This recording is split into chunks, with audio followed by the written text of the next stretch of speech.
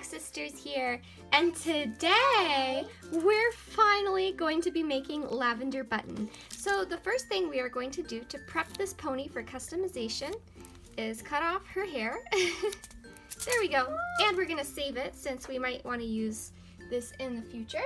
So I'm just gonna put it off to the side, and we're gonna cut off her, Her tail, tail. because we're gonna be uh, rehairing Lavender Button. So it's gonna be okay. We're gonna give her some new hair. She's the headless horse. so yeah, she's the headless horse. So we finally we got the head removed. So we're gonna remove the excess hair and make her completely bald.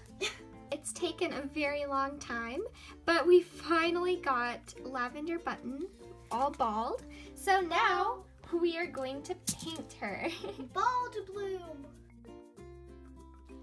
The most important part about painting ponies whenever you're making a custom is to do it in very many layers.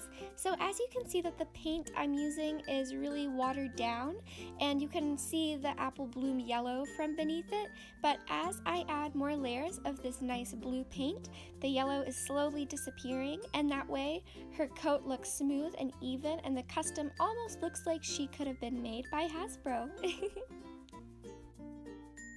So for sure, layering is one of the uh, best tricks or tips that I could give any of you looking to make your own custom ponies. Just make sure that you're putting on lots of layers of paint. When doing the eyes, you always want to outline your eye shape first. So what we did is we actually outlined it in pen and then because I didn't like the way that the eyes looked, I went back and I redid them.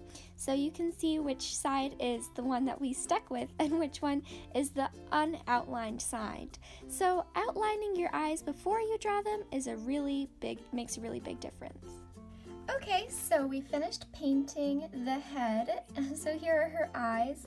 And I think that so far Lavender Button is looking really cute. And then here is her body, of course. So now we're going to take this hair that I bought. And this is the Mulberry Crush and Sugar Plum Blend. So the awesome thing about Dolly Hair is that you can order custom blends of colors. So this is actually a blend. You can see the two colors. There's Mulberry Crush and Sugar Plum and I'm just going to cut it. I'm going to twist tie it in place and I'm going to cut it and then we're going to re-hair Lavender Button.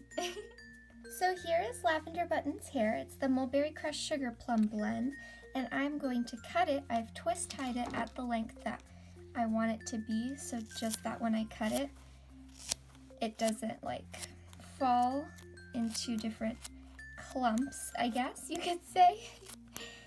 And I what do you guys think? Do you guys like the color that we picked? Yeah.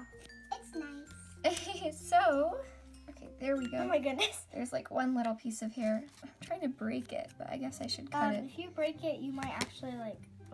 So here Oh, the there. excess hair. There's a lot of it. And I'm just gonna take that away. And all here is Lavender Button's hair. And now we are going to reroot her.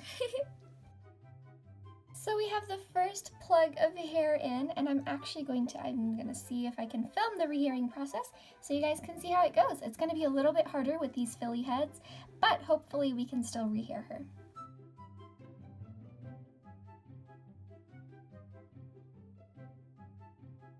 So we finished the cutie mark and their two lavender buttons. So here is the finished lavender button and you can see we finished rehairing her. We gave her her cutie mark and we gave her her tail and her eyes I think turned out really really cute and I just think that overall she's adorable. So we finally have lavender buttons OC. Yay. so thank you guys so much for watching. Be sure to like, comment, and subscribe. And we'll see you guys in the next video. Stay awesome. Toy Box Sisters signing out. Finger wave.